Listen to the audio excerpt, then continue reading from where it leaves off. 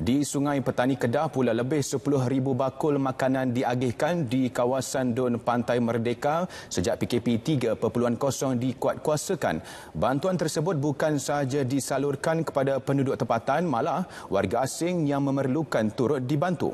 Jadi saya harap dengan adanya tindakan proaktif dari kepimpinan semua peringkat JPKK, penghulu dan uh, pegawai kerajaan sebenarnya sedang bertungkul lumuh no, untuk memberikan uh, servis yang terbaik lah, perkhidmatan yang terbaik kepada masyarakat dan terjejas.